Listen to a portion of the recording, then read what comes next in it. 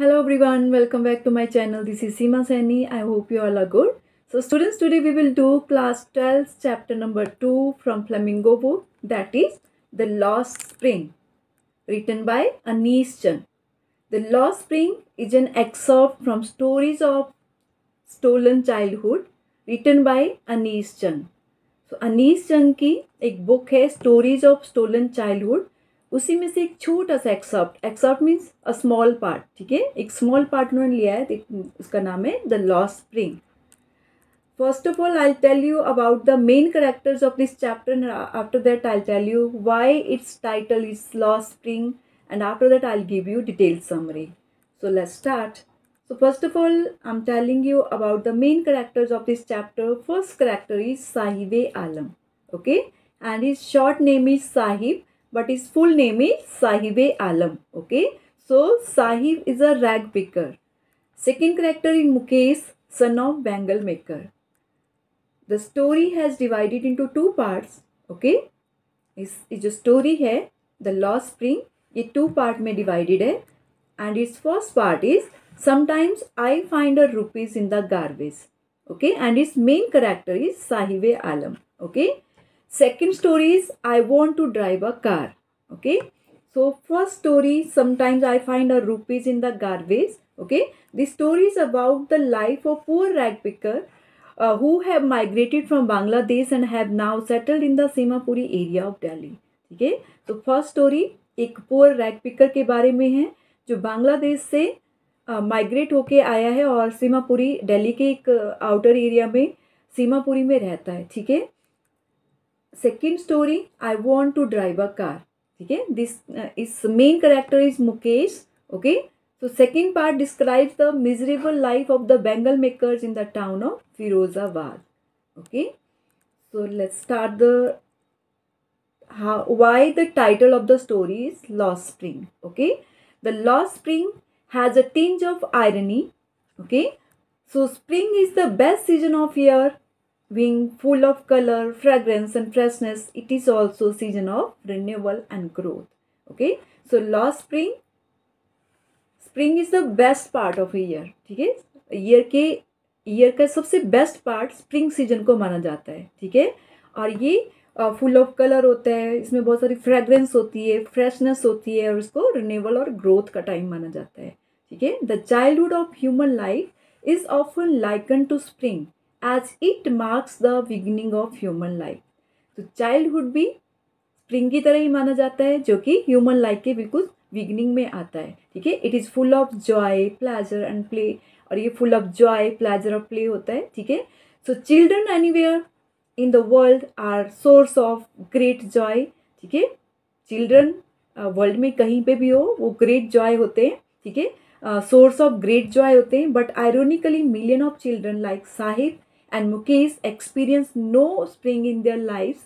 They have lost their childhood, okay, because of poverty. लेकिन इस story में जो टू मेन करेक्टर है ठीक है साहिब एंड मुकेश उनकी तरह ही मिलियन ऑफ़ चिल्ड्रन एक्सपीरियंस नहीं कर पाते उस स्प्रिंग को उस चाइल्डहुड को क्योंकि वो पॉवर्टी में होते हैं और इस पॉवर्टी में होने के कारण वो अपने चाइल्डहुड को अपने स्प्रिंग को खो देते हैं ठीक है so education play and pleasure are not for them to enjoy और उनके लिए ना तो कोई एजुकेशन होती है ना प्लेजर होता है और ना ही कोई इन्जॉय होता है ठीक है? They must work to support them self and their families उनको अपनी फैमिलीज़ के लिए और अपने लिए uh, उनको सपोर्ट अपनी फैमिलीज़ को सपोर्ट करने के लिए काम करना पड़ता है। That's why the name of the chapter is lost spring okay so spring को यहाँ पे कंपेयर um, किया गया है सिमिलर माना गया है किसके?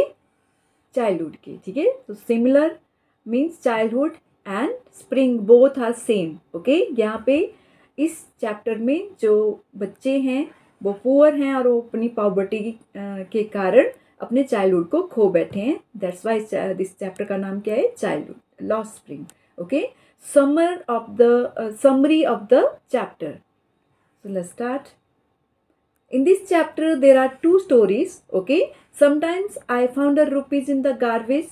Second, I want to drive a car. So, in this chapter, there are two stories, okay? So, let's start. First of all, I'll start. I'm starting first story.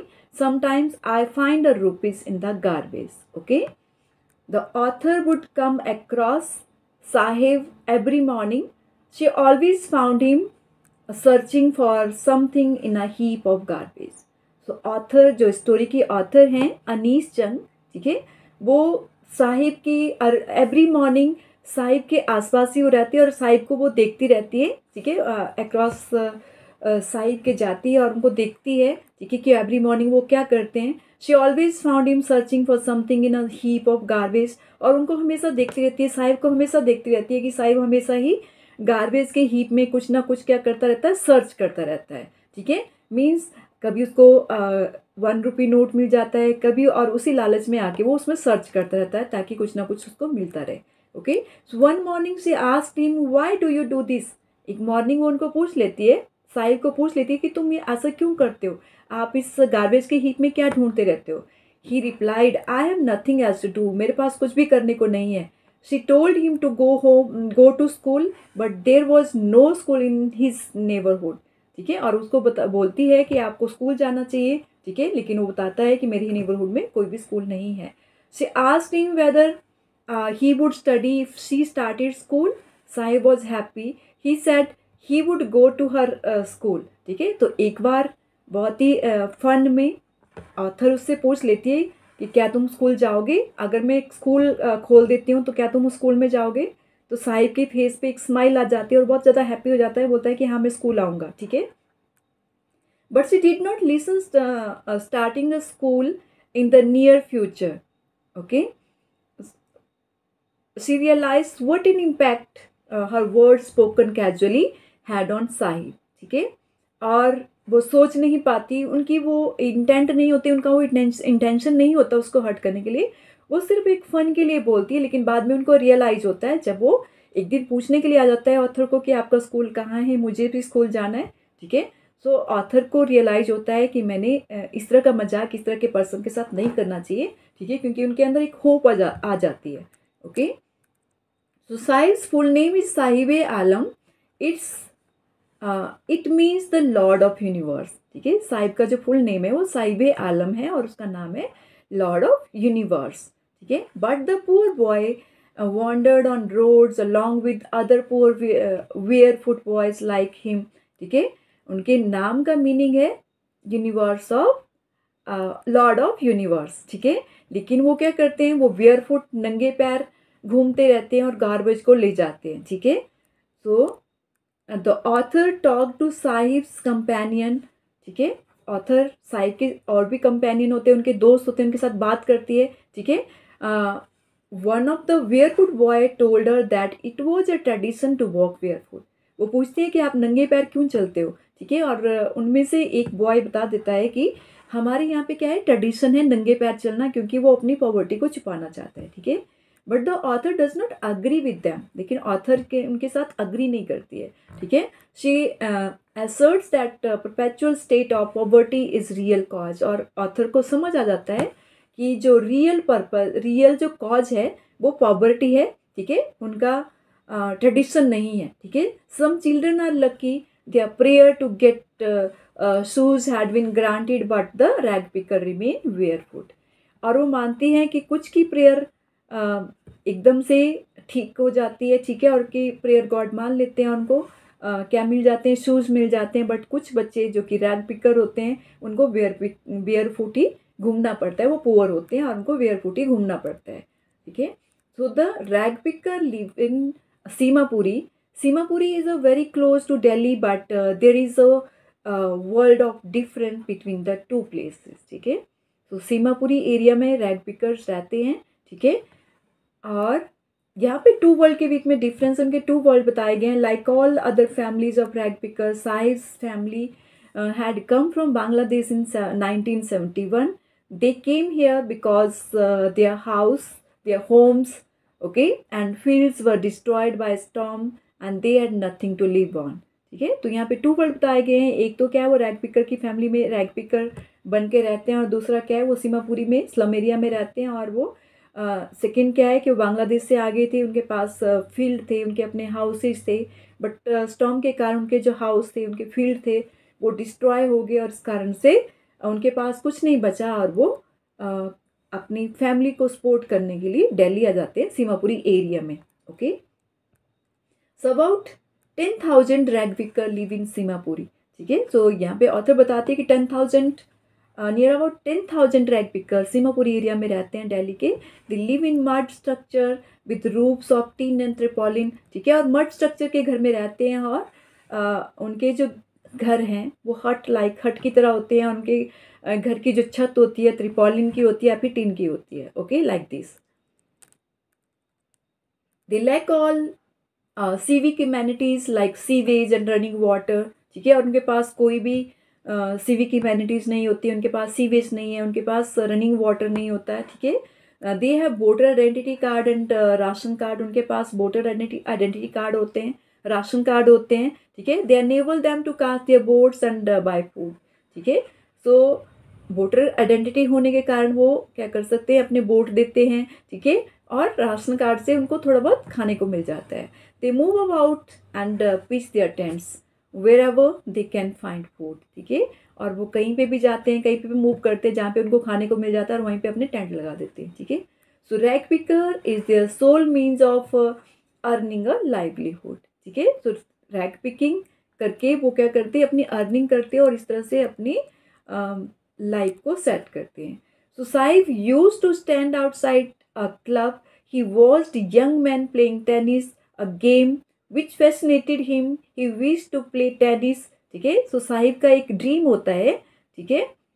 Tennis खेलना। तो साहिब साहिब क्या करता था? साहिब टेनिस गेम देखता था, ठीक है, वो देखता था कि बहुत सारे यंग मैन क्या कर रहे हैं, टेनिस खेल रहे हैं, ठीक है, वो जाता था जब वो खेल रहे होते थे और वो जाके चुपके से ग्राउंड के बाहर से देखता था विच फैसिनेटेड हिम क्योंकि वो टेनिस गेम उसको फैसिनेट करती थी क्योंकि उसका भी ड्रीम था टेनिस गेम खेलना। He wish to play tennis someone gave him a pair of discarded tennis shoes किसी ने उसको टेनिस शूज़ दिए थे जो डिस्कार्डेड थे, ठीक है सो डिस्कार्डेड मतलब किसी के शूज़ जब थोड़े से ख़राब हो जाते हैं तो वो किसी को दे देते हैं। तो इस तरह से उनके साहिब के पास भी कहते डिस्कार्डेड शूज़ थे।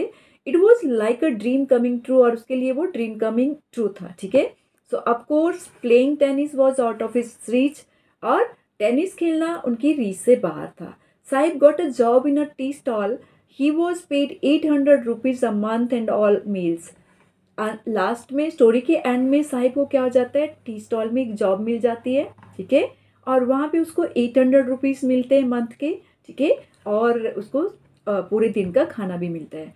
Perhaps he was not happy he had lost his carefree life and his freedom ठीक है? वहाँ पे वो हैप्पी नहीं था, ठीक है?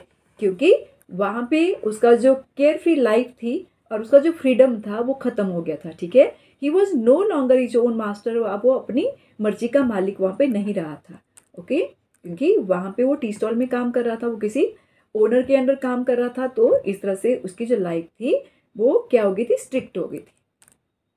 Next story I want to drive a car okay the author visited Firozabad okay Firozabad is famous for its bangle making industry इसके बाद ऑथर अनीस जंग फिरोजाबाद जाती है फिरोजाबाद फ़ेमस है बैंगल मेकिंग इंडस्ट्री के लिए ठीक है?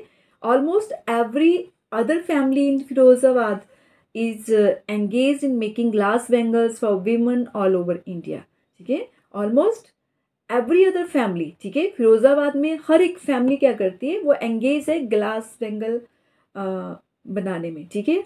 वहाँ पे आ, वो पूरी इंडिया की विमन के लिए क्या बनाती है बैंगल्स बनाती है। Glass bangles are a symbol of women's marital status ठीक है? और जो ग्लास बेंगल्स जो होती है वो इंडिया में uh, क्या माना जाता है? मैरिज का एक सिंबल माना जाता है। So Mukesh family was engage in making bangles Mukesh की फैमिली बैंगल्स बनाने में एंगेज रहती है। Mukesh took the author to his house Mukesh अपनी ऑथर को अपने घर ले जाता है ठीक है? घर ले गया ऑथर को। And they went through stinking lanes choked with garbage और जहाँ से जब वो अपने लेन में जा रहे थे, ठीक है तो उनकी जितने भी लेन्स थी वो गार्बेज से चोक थी। Families of bangle makers live there वहाँ पे बैंगल मेकर्स की फैमिली रहती थी, ठीक है। Families of bangle makers live their their houses at crumbling walls and bobbling doors और उनके जो हाउसेज थे, उनकी जो वॉल्स थी वो क्रम्बलिंग थी, ठीक है। बहुत ही कमज़ोर उनकी दीवारें थी और उनकी जो डोर थे वो बॉबली थे, okay? So they enter Mukesh house which was like any other house in the lane उसके बाद ऑथर क्या करती है? मुकेश के घर में एंटर करती है, जो कि उस लेन में सभी दूसरे हाउसेज की तरह थे।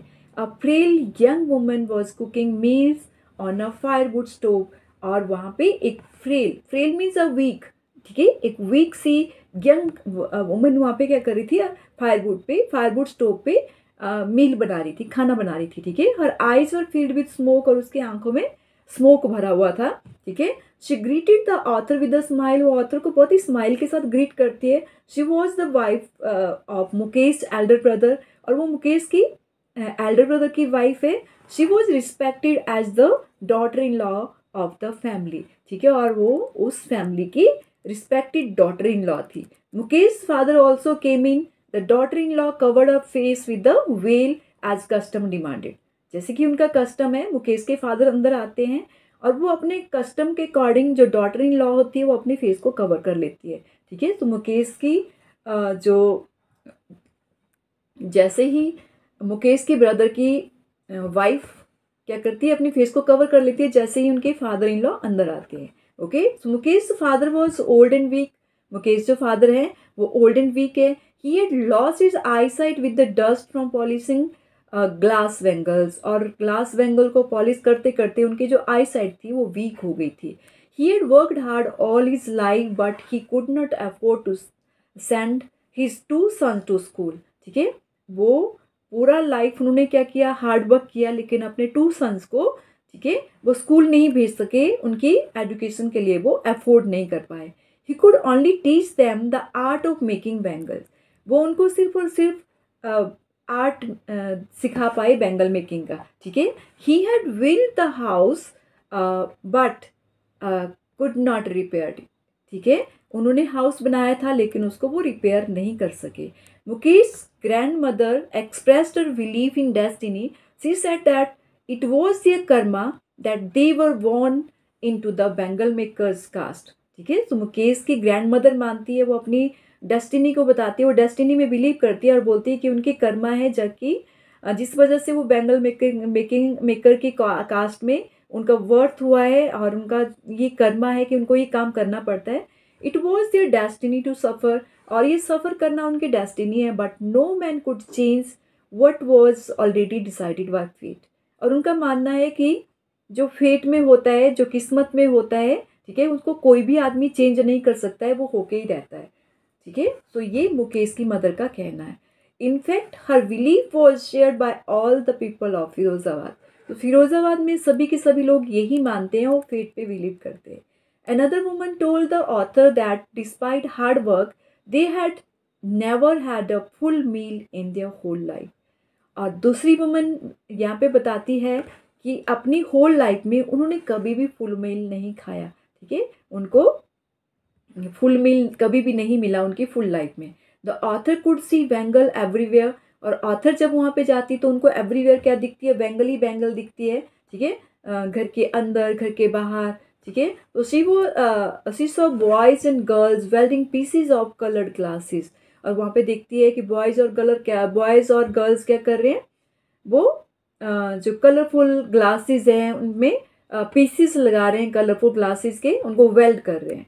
So their eyes would get use to the darkness and they often lost lost their eyesight before they were adjusted. Adults, ठीक है? सो उनकी जो आईसाइट थी वो क्या हो गई थी? एडल्ट होने तक वो उनकी जो आईज थी, वो क्या हो जाती थी? वीक हो जाती थी, ठीक है? आई साइट ओके और उनको काम कहाँ पे करना पड़ता था? एक डार्क से एक रूम में, एक डिंजी सेल में, एक छोटे से कमरे में जहाँ पे ना तो लाइट होती थी और उनकी जो आँखें थी, वो सिर्फ़ और सिर्फ़ डार्कनेस में एडजस्ट हो गई थी। मतलब वो अंधेरे को देखने के लिए, ठीक है? डार्कनेस को देखने के आदि हो चुके थे, ठीक है? और लाइट पे उनकी जो आँखें थी, वो अब टिकती नहीं थी। At home families worked hard all day in front of furnace with high temperature और सभी को अपने अपने घर में हाई टेम्परेचर में फर्नेस के सामने फर्नेस मीन्स भट्टी ठीक है? और फर्नेस के सामने हाई टेम्परेचर में उनको रहना पड़ता था, ठीक है? This led to many children becoming blind before they reached adulthood जब तक वो बच्चे एडल्टहुड में जाते थे, उतने तक वो बच्चे अपने आईसाइट खो देते थे और वो ब्लाइंड हो जाते थे, ठीक है? So generation after generation families of bangle maker have been engage in making bangles okay so generation every generation वहाँ पे क्या थी? बैंगल मेकिंग थी बैंगल मेकिंग करती थी, ठीक है? वो बैंगल बनाती थी। They live in poverty they work hard and die in poverty ठीक है? वो बहुत ज़्यादा हार्ड करते थे पॉवर्टी में जीते थे और पॉवर्टी में ही मर जाते थे। Nothing has change with the passage of time और पैसेज ऑफ़ टाइम के साथ टाइम के साथ वहाँ पे कुछ भी चेंज नहीं हुआ, ठीक है? They find themselves in the clutches of middle man and money lenders ठीक है? और टाइम टू टाइम उन्होंने देखा कि वो किसके क्लचेज में? मिडल मैन के क्लचेज में, ठीक है? कि जो उनसे बैंगल्स बनवाते थे और वो ले जाते थे, ठीक है? और अपने अकॉर्डिंग को बेच देते थे और उनको अच्छे से प्रॉफिट नहीं देते थे और वो मनी लैंडर से भी के क्लचेज में भी थे। If the youth try to organise themselves they realise that the police and administration would not help them जब भी कोई यूथ ऑर्गेनाइज करते थे, अपने आप को इकट्ठे हो जाते थे और वो चाहते थे कि वो इकट्ठे होके कुछ इसके अगेंस्ट कुछ करे, ठीक है? रिवॉल्ट करे तो तब क्या होता था? उनको रियलाइज़ होता था कि पुलिस उनको ले जाएगी और जो एडमिनिस्ट्रेशन के लोग थे, वो उनको हेल्प नहीं करेंगे, पुलिस उनको हेल्प नहीं करेंगे। If they try to get out of the vicious circle they were they are in trouble और वो मानते थे कि अगर इस विशियस मतलब इस क्रूर, इस क्रूअल स्ट्रक्चर से बाहर निकलेंगे, इस ट्रबल से बाहर निकलने की कोशिश करेंगे, ठीक है? So the police beat them and put them in jail तो पुलिस उनको क्या करेगी? मारेगी उनको जेल ले जाएगी। So it is not easy for a bangle maker to do something different और बेंगल मेकर की फैमिली में ये बहुत ही डिफ़िकल्ट था कि वो कुछ डिफरेंट करे, उनको बेंगल ही बनानी पड़ती थी, ठीक है? The stigma of this caste always goes with him so ये जो स्टिग्मा था, उन फैमिलीज़ में हमेशा उनके साथ चलता रहता था। But Mukesh wants to be a motor mechanic लेकिन उनकी फैमिली में सिर्फ़ मुकेश ही था बैंगल मेकर की फैमिली में, जिसने कुछ नया करने की कोशिश की। ठीक है? और वो चाहता था कि वो एक मोटर मैकेनिक बने। He wants to learn his work at garage far away from home ठीक है? और वो चाहता था कि वो घर से बहुत दूर बैंगल से बहुत दूर जाके वो क्या करे? एक गैरेज में काम करे। He wants to be his own master वो अपनी मर्ज़ी का मालिक बनना चाहता था, ठीक है? वो गैरेज में काम करना चाहता था और मोटर मैकेनिक बनना चाहता था। तो उसकी ये एक ओनली सन था ओनली जनरेशन का एक इकलौता बच्चा था जो चाहता था कि वो क्या करे? कुछ और काम करे। So I hope you enjoyed this story. That's all for today. See you soon in my next video. Till then, bye. Take care.